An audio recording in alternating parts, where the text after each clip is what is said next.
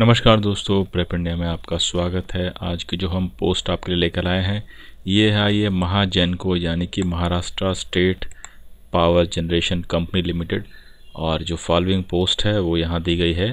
तो इसमें देखिए छः टाइप की पोस्ट है। पहली है चीफ इंजीनियर, दूसरी है डेप्यूटी चीफ इंजीनियर, तीसरी है सुप्रिटेंडिंग इंजीनियर, चौथी एग्जीक्यूटिव इंजीनियर, पांचवी है एडिशनल एग्जीक्यूटिव इंजीनियर, और छठी है डेप्यूटी एग्जीक्यूटिव इंजीनियर।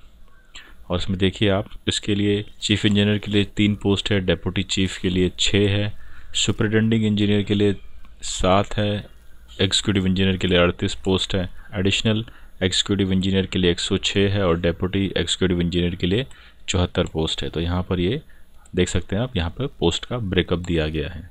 और जो इसकी लास्ट डेट है, आप इसको ऑनलाइन एप्लीकेशन सबमिट करने की वो पाँच दो यानी पाँच फरवरी है यहाँ पे। इसमें हम देखते हैं qualification and experience as on five two twenty twenty कितना होना चाहिए।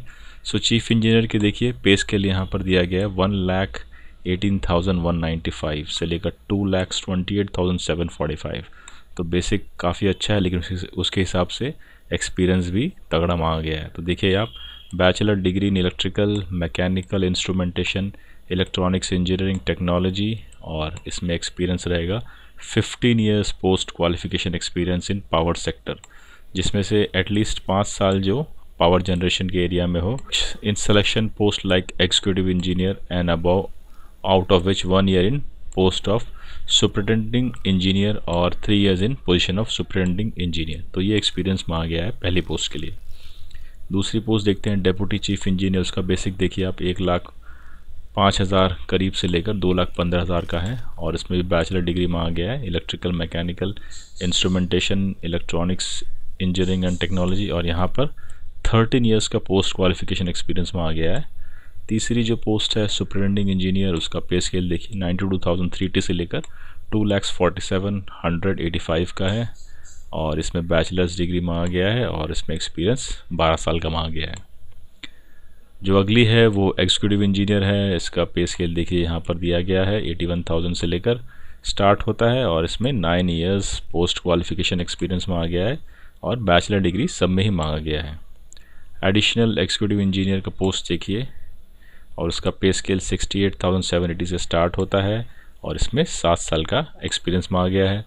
लास्ट जो है डेप्यूटी एग्जीक्यूटिव इंजीनियर उसका sixty one thousand eight thirty से स्टार्ट होता है पे स्केल और इसमें थ्री ईयर्स का पोस्ट क्वालिफिकेशन एक्सपीरियंस मांगा गया तो बेसिकली ये जो पोस्ट सब दी गई है, ये एक एक्सपीरियंस लोगों के लिए पोस्ट है। अपर एज लिमिट यहाँ पर दिया गया है फाइव टू ट्वेंटी ट्वेंटी इसकी डेट के हिसाब से। तो देखिए चीफ इंजीनियर के लिए पचास अपर एज लिमिट तो यहाँ पर आप अपर एज लिमिट सबका देख सकते हैं। और जो बैकवर्ड क्लास रहेंगी, उनके लिए रिलैक्सेशन दिया गया है यहाँ पर। लास्ट डेट यहाँ पे दोबारा बता रहे हैं फाइव टू ट्वेंटी ट्वेंटी जो भी आपकी एज एजुकेशन एक्सपीरियंस है, वो as on five two twenty twenty के हिसाब से कंसिडर की जाएगी। ये कंडीशंस हैं बैकवर्ड क्लास के लिए, आप इसको पढ़ लीजिए। अगर आप उस बैकवर्ड क्लास में अंदर आते हैं तो यहाँ पर ये पढ़ सकते हैं। ये पूरा जो चल रहा है, ये बैकवर्ड क्लास के बारे में है। ये condition applicable to candidate under horizontal reservation तो ये हॉरिजॉन्टल रिजर्वेशन के लिए है, ये पैराग्राफ दिया गया इसको आप पढ़ लीजिए।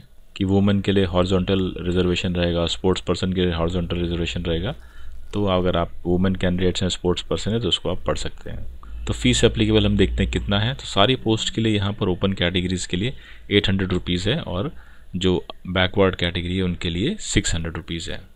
तो यहाँ पर इंपॉर्टेंट चीज़ दी गई कि जो candidates tech one tech two tech three tech four के लिए अप्लाई करें उनको ऑनलाइन अप्लाई करना है, जो लिंक नीचे दी गई है, और उसकी जो कॉपी है ऑनलाइन एप्लीकेशन की और नेसेसरी डॉक्यूमेंट्स के साथ आपको ये एड्रेस पे भेजनी है यहाँ पर, ताकि वो पाँच दो दो हज़ार बीस से पहले यहाँ पर पहुँच जाए। और जो कैंडिडेट्स टेक फाइव और टेक सिक्स के लिए अप्लाई कर रहे हैं, उनको ऑनलाइन अप्लाई करना है और नीचे जो लिंक दी गई है, और उनको ऑनलाइन एप्लीकेशन के बाद कोई भी डॉक्यूमेंट्स जो है वो नहीं भेजना है। और ऑनलाइन ही जो मीडियम होगा, वही आपको दोनों पोस्ट के लिए अप्लाई करना है। पहले चार पोस्ट में आपको डॉक्यूमेंट्स भी भेजना है एप्लीकेशन जो आपने अप्लाई किया उसका प्रिंट आउट के साथ, और दूसरी जो पाँच और छः पोस्ट है, उसमें आपको ऑनलाइन ही अप्लाई करना है और कुछ भेजना नहीं है। कैसे अप्लाई करना है, यहाँ पे देख लीजिए।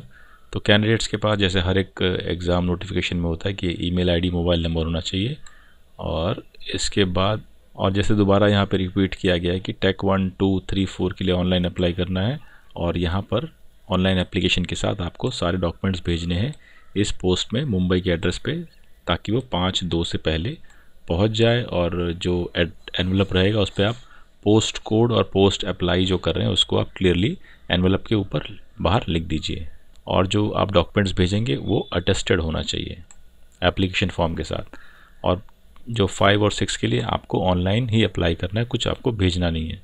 इंपॉर्टेंट कंडीशंस जो सिलेक्शन प्रोसेस का है, वो यहाँ पे दिया गया है। तो आप इसको पढ़ सकते हैं कि जो भी क्वालिफिकेशन एक्सपीरियंस है, वो मिनिमम क्राइटेरिया है। और इसका मतलब ये नहीं कि आपके पास ये क्राइटेरिया है तो आपका पक्का ऑनलाइन टेस्ट के लिए आपको बुलाया जाएगा, या सिलेक्शन प्रोसेस के लिए बुलाया जाएगा। तो कैंडिडेट्स जो भी शॉर्ट लिस्ट होंगे पर्सनल इंटरव्यू के लिए, वो एक सूटेबल क्राइटेरिया होगा, उसके हिसाब से ही शॉर्ट लिस्ट होंगे। तो इसमें आप पढ़ सकते हैं। यहाँ पे देखिए, जो tech one two three four के लिए पोस्ट है, ये जो उनका सिलेक्शन प्रोसेस होगा, ये असेसमेंट सेंटर के थ्रू होगा, जिसमें इन बास्केट एक्सरसाइज होगी ग्रुप डिस्कशन होगा केस स्टडी होगा प्रेजेंटेशन होगा और उसके बाद इंटरव्यू होगा। और ये टेक फाइव और टेक सिक्स के लिए जो सिलेक्शन प्रोसेस होगा, वो ऑनलाइन टेस्ट पे बेस्ड होगा, उसके बाद पर्सनल इंटरव्यू होगा। क्योंकि ये जो tech one two three four है, ये सीनियर पोस्ट के लिए है और ये टेक फाइव और टेक सिक्स है, ये एंट्री लेवल एक तरह से आप कह सकते हैं। टेक फाइव और टेक सिक्स अगर आपने अच्छी तरह से रजिस्टर कर लिया एप्लीकेशन तो आपको ऑनलाइन टेस्ट के लिए बुलाया जाएगा, लेकिन बाद में आपका एलिजिबिलिटी क्राइटेरिया जो आपका एजुकेशनल क्वालिफिकेशन है, वो बाद में चेक करेंगे। तो टेक फाइव और टेक सिक्स के लिए भी आपको ऑनलाइन एप्लीकेशन और डॉक्यूमेंट्स भेजने हैं, लेकिन वो बताया जाएगा आपको कब भेजने हैं वेबसाइट पे, तभी आपको भेजने हैं। वैसे आपको एप्लीकेशन के बाद नहीं भेजने हैं तो यहाँ पे ऐसा लिखा गया देख सकते हैं और ये इंटरव्यू लेने से पहले भेजने तो सबको नहीं भेजने हैं तो जिनके इंटरव्यू होंगे उन्हीं को ही वो डॉक्यूमेंट्स भेजने पड़ेंगे। यहाँ पे जनरल कंडीशंस आप देख सकते हैं। सो so, ये एक इंपॉर्टेंट चीज़ यहाँ पे दी गई। तो the candidate must produce following certificate showing knowledge of Marathi तो ये आपको नॉलेज ऑफ़ मराठी या मराठी लैंग्वेज की नॉलेज होनी चाहिए जिससे आपको ये जो सर्टिफिकेट्स है इससे आइडिया लग जाएगा बोर्ड को कि आपको मराठी लैंग्वेज आती है। या फिर एक सर्टिफिकेट देना पड़ेगा कि कैंडिडेट जो read write and speak Marathi language fluently तो ये आपको किसी प्रोफेसर से लेना पड़ेगा जो मराठी लैंग्वेज ऑफ़ कॉलेज हो। तो यह, ये आपको एक चीज़ करनी है इंपॉर्टेंट चीज़ दी गई है। तो बाकी भी इंपॉर्टेंट चीज़ें हैं, लेकिन वो आप पढ़ सकते हैं। इंपॉर्टेंट डेट्स यहाँ पे दोबारा दिया गया है कि पंद्रह एक से इसकी ऑलरेडी चालू हो चुकी है। लास्ट डेट इसकी पाँच दो दो हज़ार बीस है। और यहाँ पर आप क्लिक करेंगे तो ऑनलाइन एप्लीकेशन आप भर सकते हैं।